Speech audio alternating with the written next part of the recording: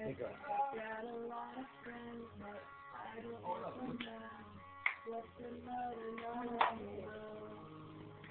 when you're standing every day on your own. Are you alone with your friends?